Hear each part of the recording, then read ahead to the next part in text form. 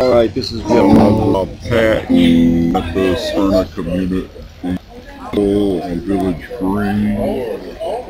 And we're about to hear some music from Homefront.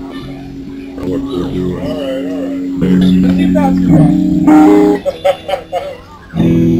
Just bear with us.